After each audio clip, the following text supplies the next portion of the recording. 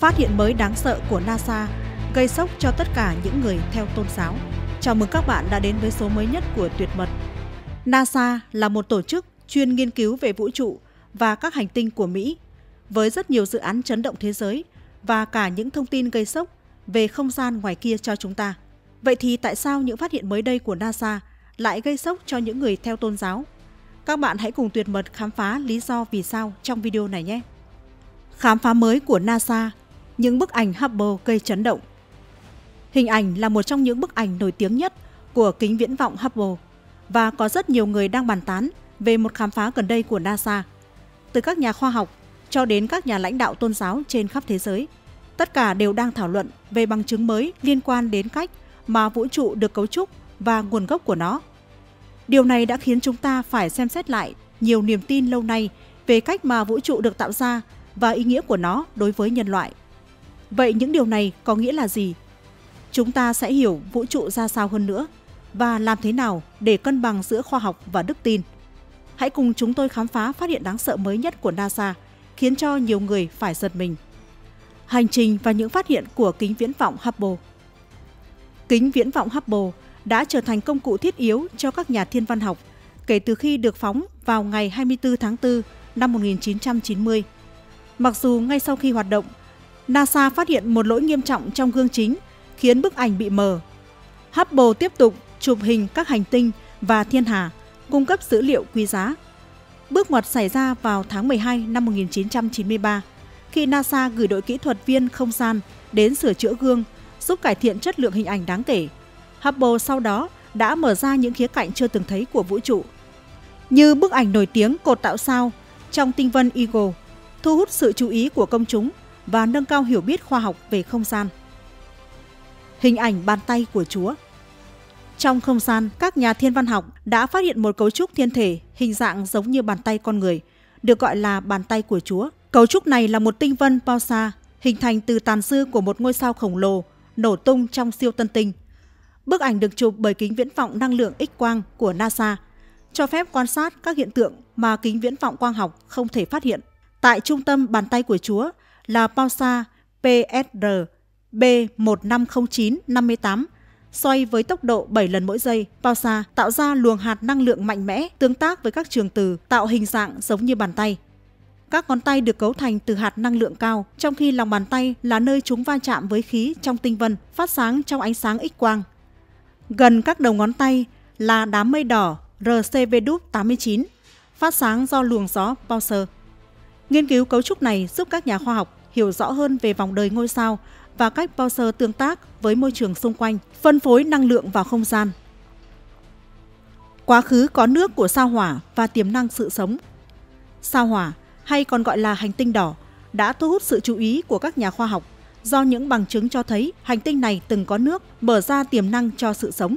Nghiên cứu đã chỉ ra rằng sao hỏa từng có môi trường ấm áp, đặc biệt là ở các khu vực cao nguyên phía nam như lưu vực Halus và miệng hố Hagens, nơi có mạng lưới thung lũng phức tạp, có thể là dấu hiệu của nước chảy khoảng 3,5 đến 4 tỷ năm trước. Chứng cứ địa chất cho thấy nước đã chảy từ bắc xuống nam, hình thành những thung lũng rộng đến 2 km và sâu 200 m. Kích thước của chúng gợi ý rằng sao hỏa từng có bầu khí quyển dày đủ để duy trì nước lỏng. Những phát hiện này mang lại hy vọng cho việc tìm kiếm sự sống ngoài hành tinh, mặc dù bề mặt hiện tại không có khả năng sinh sống. Để điều tra khả năng tồn tại sự sống trên sao hỏa, các cơ quan không gian đang lên kế hoạch cho nhiều nhiệm vụ. Trong đó có ESTOMOS, dự án hợp tác giữa cơ quan vũ trụ châu Âu và Roscosmos. Nhiệm vụ này sẽ sử dụng rover và vệ tinh để nghiên cứu bầu khí quyển và tìm kiếm dấu hiệu sự sống dưới bề mặt. Nghiên cứu quá khứ có nước của sao hỏa không chỉ giúp hiểu hành tinh này mà còn cung cấp những hiểu biết giá trị về điều kiện cần thiết cho sự sống. Từ đó so sánh với trái đất để hiểu rõ hơn về khả năng sinh sống của các hành tinh khác. Phát hiện đầu tiên về bão Bắc Cực trên sao Thiên Vương. NASA vừa phát hiện một cơn bão Bắc Cực trên sao Thiên Vương, đánh dấu lần đầu tiên quan sát được đặc điểm khí quyển này. Cơn bão được phát hiện qua phân tích sóng vô tuyến, cho thấy nó có lõi ấm và khô, duy trì ổn định ở cực mà không di chuyển như các cơn bão trên trái đất. Sao Thiên Vương, hành tinh thứ bảy từ mặt trời, nổi tiếng với trục nghiêng lớn dẫn đến những thay đổi mùa mạnh mẽ. Đài quan sát Velirec Array ở New Mexico đã phát hiện những quan sát từ năm 2015 đến 2022 cho thấy cực bắc của hành tinh này ấm và khô hơn mong đợi, chứng tỏ sự hiện diện của cơn bão lớn. Điểm đáng chú ý là sự ổn định của cơn bão, khác với các cơn bão trên trái đất, khiến các nhà khoa học đặt câu hỏi về nguồn năng lượng và động lực khí quyển duy trì cơn bão này. Thời điểm phát hiện rất thuận lợi khi sao Thiên Vương ở vị trí cho phép quan sát rõ các cực của nó, lần đầu tiên sau nhiều thập kỷ. Thông tin mới này không chỉ mở rộng hiểu biết về khí quyển sao Thiên Vương, mà còn tạo cơ hội để so sánh hiện tượng khí quyển giữa các hành tinh. Từ đó phát triển các mô hình toàn diện hơn về hoạt động và phát triển khí quyển hành tinh. Nghiên cứu tiếp theo có thể tập trung vào cấu trúc bên trong cơn bão và vai trò của nó trong hệ thống khí quyển của sao Thiên Vương. Giải mã nhịp đập bí ẩn của mặt trời các nhà khoa học đã có bước đột phá quan trọng trong việc hiểu các tín hiệu bí ẩn từ mặt trời được gọi là xung nhịp định kỳ QPPS có hình dạng giống như nhịp tim. Những tín hiệu này liên quan đến các cơn bùng phát mặt trời là những vụ nổ mạnh mẽ từ bề mặt mặt trời giải phóng năng lượng, bao gồm sóng vô tuyến và ánh sáng cực tím, thường đi kèm với các vụ phun trào khối lượng khí quyển CMES. Mặc dù QPPS đã gây bối rối cho các nhà nghiên cứu trong thời gian dài, một nghiên cứu công bố trên tạp chí Nature Communication vào ngày 12 tháng 12 năm 2022 đã làm sáng tỏ chúng. Nhóm nghiên cứu phân tích dữ liệu từ một vụ bùng phát C-Class vào ngày 13 tháng 7 năm 2017 và phát hiện hai mô hình xung nhịp riêng biệt.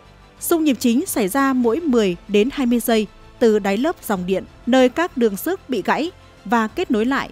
Trong khi xung nhịp thứ hai nhẹ hơn, có khoảng thời gian từ 30 đến 60 giây quan sát được trên toàn bộ lớp dòng điện. Phát hiện này thách thức các lý thuyết trước đây về động lực học của các cơn bùng phát mặt trời. Cơ chế giải phóng năng lượng và tín hiệu nhịp đập của mặt trời.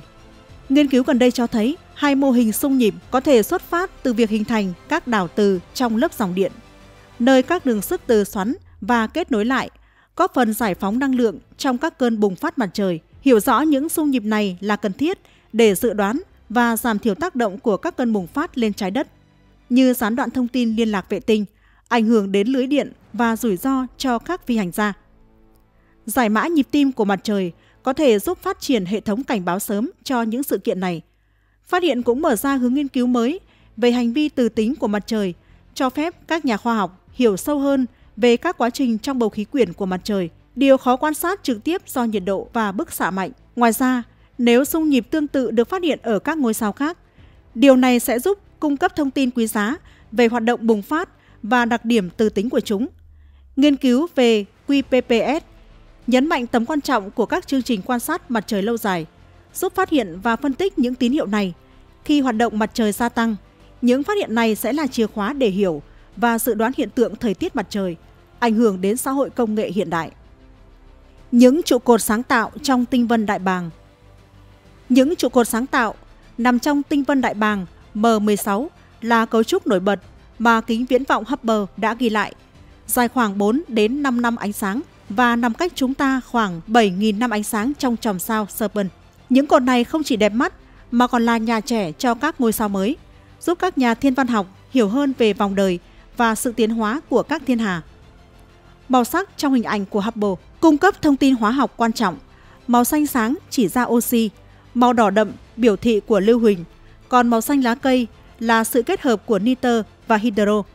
Những trụ cột đang bị hình thành và xói mòn bởi ánh sáng cực tím từ các ngôi sao trẻ gần đó. Một quá trình gọi là photovaporization, hình ảnh gần đây nhất từ Hubble vào năm 2014 cho phép các nhà khoa học nghiên cứu chi tiết về cấu trúc bên trong trụ cột. Dù tinh vân đại bàng có thể quan sát bằng kính viễn vọng nhỏ vào tháng 7, những trụ cột chỉ có thể nhìn thấy bằng các kính viễn vọng lớn hơn. Nghiên cứu này cung cấp dữ liệu quan trọng cho việc mô hình hóa quá trình hình thành sao trên toàn vũ trụ khi khả năng quan sát được cải thiện. Những cấu trúc như những trụ cột sáng tạo sẽ tiết lộ nhiều bí mật về quá trình hình thành và sự thay đổi của các thiên hà trong vũ trụ. Ngân hà M87, một cường quốc vũ trụ. Ngân hà M87 hay là Messier 87 là một thiên hà hình elip nổi bật cách chúng ta khoảng 54 triệu năm ánh sáng trong chòm sao Sử Nữ, nằm trong cụm thiên hà Vico với khoảng 2.000 thiên hà. Điều khiến cho M87 đặc biệt là quy mô khổng lồ với hàng triệu triệu ngôi sao, biến nó thành một trong những thiên hà lớn nhất trong vũ trụ. Tại trung tâm của M87 là một lỗ đen siêu khối lượng, có khối lượng gấp khoảng 6,5 tỷ lần mặt trời. Nổi tiếng với hình ảnh đầu tiên được ghi lại bởi kính viễn vọng Event Horizon vào năm 2019. M87 cũng sở hữu khoảng 15.000 cụm sao cầu, trong khi ngân hà của chúng ta chỉ có khoảng 150 cụm. Những cụm sao cầu này cung cấp thông tin quý giá về lịch sử và tiến hóa của thiên hà. Ngoài ra, một chùm plasma Lerer Tivixit kéo dài từ trung tâm thiên hà, dài hàng ngàn năm ánh sáng, được thúc đẩy bởi năng lượng từ lỗ đen, là một trong những đặc điểm nổi bật của M87. Chùm plasma và sự hình thành của ngân hà M87 M87 thiên hà nổi bật trong cụm Virgo, nổi bật với chùm plasma màu xanh phát ra từ bức xạ đồng bộ, hình thành từ electron, di chuyển gần tốc độ ánh sáng Vị trí trung tâm của nó trong cụm Virgo có thể đã ảnh hưởng đến sự tiến hóa của M87 với giả thuyết cho rằng thiên hà này đã hấp thụ các thiên hà nhỏ hơn, giải thích cho số lượng lớn các cụm sao cầu và kích thước khổng lồ của nó. Được Charles Messier phát hiện vào năm 1781, M87 có độ sáng 9,6 cho phép quan sát bằng kính viễn vọng nhỏ, đặc biệt hiệu quả vào tháng 5. Các hình ảnh gần đây từ kính viễn vọng Hubble đã cung cấp cái nhìn rõ nét về hình dạng hình elip của M87 cùng với chùm plasma mạnh mẽ ở trung tâm. Nghiên cứu về M87 quan trọng cho việc hiểu sự hình thành và tiến hóa của các thiên hà lớn, hành vi của các lỗ đen siêu khối lượng và động lực học của các cụm thiên hà. Khi công nghệ quan sát tiến bộ, M87 sẽ tiếp tục tiết lộ nhiều bí mật về vũ trụ và các môi trường cực đoan ở bên trong. Khám phá của rover Curiosity và những bí ẩn của hố kêu trên sao hỏa. Rover Curiosity của NASA được phóng vào năm 2011 đã bắt đầu khám phá hố kêu trên sao hỏa từ năm 2012, mang lại những hiểu biết quý giá về quá khứ của hành tinh đỏ. Dưới sự lãnh đạo của Ashwin Vasavada, nhiệm vụ này tập trung vào việc giải mã liệu khu vực này từng hỗ trợ sự sống vi sinh vật hay không. Hố kêu hình thành cách đây khoảng 3,5 tỷ năm có thể đã có một bầu khí quyển dày hơn và nước lỏng dồi dào, tạo điều kiện thuận lợi cho sự sống. Trong năm đầu tiên, Curiosity đã phát hiện bằng chứng về một lòng hồ cổ đại tại Yellowknife cho thấy môi trường không quá axit và có khả năng sống được cho vi sinh vật. Rover đã tìm thấy các nguyên tố thiết yếu như carbon, nitrogen, sulfur và phosphorus, cũng như các nguồn năng lượng có thể hỗ trợ cho sự sống. Những phát hiện này cho thấy hố kêu có thể từng là môi trường lý tưởng cho sự sống khả năng phân tích thành phần hóa học của Curiosity rất quan trọng trong việc tái tạo lịch sử môi trường của sao hỏa. Dữ liệu mà Curiosity thu thập cho các nhà khoa học hiểu rõ hơn về khả năng sinh sống của các hành tinh khác trong hệ mặt trời. Khi Curiosity tiếp tục hành trình lên đỉnh núi Sap, đó sẽ tiến gần hơn đến câu hỏi liệu sự sống từng tồn tại trên sao hỏa hay không. Khám phá hành tinh Exoplanet Kepler 186f Kính thiên văn không gian Kepler của NASA đã phát hiện ra Kepler 186f, hành tinh có kích thước tương đương trái đất đầu tiên nằm ở trong khu vực có thể hỗ trợ cho sự sống. Phát hiện này đánh dấu cột mốc quan trọng trong việc tìm kiếm các thế giới ngoài hệ mặt trời có khả năng hỗ trợ cho sự sống. Kepler 186f quay quanh ngôi sao Kepler 186, một ngôi sao lùn đỏ, cách chúng ta khoảng 500 năm ánh sáng trong chòm sao Sinus. Hành tinh này nằm trong vùng Goldilocks, nơi có thể tồn tại nước lỏng trên bề mặt một yếu tố cần thiết cho sự sống. Mặc dù hoàn thành một vòng quỹ đạo mỗi 130 ngày và nhận khoảng 1 phần 3 năng lượng mà trái đất nhận, thông tin về khối lượng, thành phần và bầu khí quyển của Kepler 186f vẫn chưa được xác định. Phát hiện này mở ra nhiều cơ hội cho các sứ mệnh không gian trong tương lai như TESS và kính viễn vọng không gian James Webb nhằm tìm kiếm thêm hành tinh có kích thước tương đương trái đất và nghiên cứu bầu khí quyển của chúng. Nghiên cứu Kepler 186f cũng giúp hiểu rõ hơn về sự đa dạng của các hệ hành tinh trong thiên hà. Tuy nhiên, việc nằm trong vùng có thể hỗ trợ sự sống không đảm bảo rằng hành tinh đó có khả năng hỗ trợ sự sống, vì nhiều yếu tố khác cũng cần được xem xét. Hồ và biển metan trên Titan Titan, vệ tinh lớn nhất của sao thổ, đã thu hút sự chú ý nhờ vào hệ thống thủy văn độc đáo với các hồ và biển được hình thành từ metan và ethan lỏng. Kính viễn vọng Cassini đã cung cấp nhiều dữ liệu về bề mặt Titan từ năm 2004 đến 2017. Trong đó, việc phát hiện các thân nước lỏng vào năm 2007 là cột mốc quan trọng làm cho Titan trở thành thế giới duy nhất ngoài trái đất có nước lỏng ổn định trên bề mặt. Tại bán cầu Bắc, Titan có những hồ sâu chủ yếu chứa metan, trong khi các biển lớn hơn ở bán cầu Nam chứa sự kết hợp giữa metan và ethane.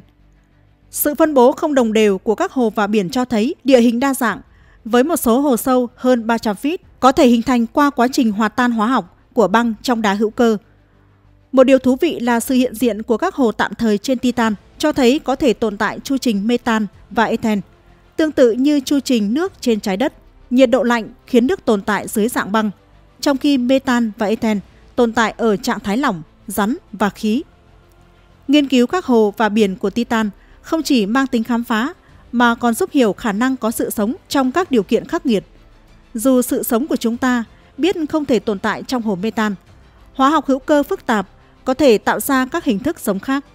Các nhiệm vụ tương lai như nhiệm vụ Dragonfly của NASA vào năm 2026 sẽ giúp khám phá sâu hơn về Titan và có thể cung cấp cái nhìn về khả năng có sự sống bên ngoài trái đất.